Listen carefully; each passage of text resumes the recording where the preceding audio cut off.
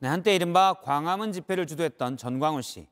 오늘 황교안 전 대표가 전 씨의 과도한 요구에 대해 입을 열었습니다. 들어보겠습니다. 2019년 어, 공천 과정에서 정말 음. 말도 안 되는 이런 주장과 요구를 하고 그래서 제가 더 같이 하기 어려워졌습니다. 있습니다. 과도한 공천 요구를 하는 거죠. 공천 숫자부터 얘기를 했습니다. 나의 사람 몇 명은 공천해 준다 이런 식으로까지 요구를 해왔다는 겁니까? 오, 몇? 명이면 이해가 되죠. 혹시 몇십 명이었습니까 그러면? 그 정도 얘기 아시죠? 예, 몇 명이면 이해된다고 했으니 최소 10명 이상이라는 겁니다. 실제로 전 씨가 자신의 사람들 10명 이상을 보수정당에 공천하려 한 겁니다. 하지만 제가 더 놀란 건 바로 이 과도한이란 표현입니다.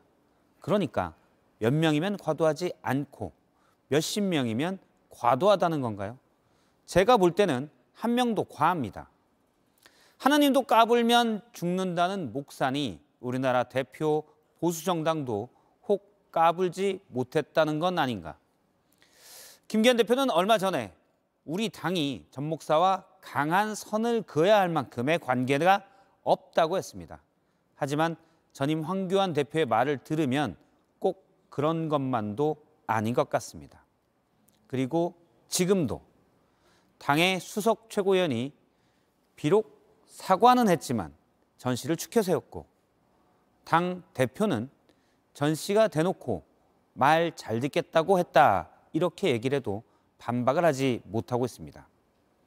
최근 잇따른 당 인사들의 망언 또는 실언에 대한 김기현 대표의 말을 다시 들어보겠습니다. 지금 당이 비상 상황입니다.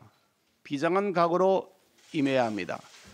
총선 승리를 위해 장애 요인이 되면 누구든지 엄정한 책임을 물을 것입니다. 예, 일단 하느님과 맞짱 뜨는 사람하고는 선을 그어야 합니다.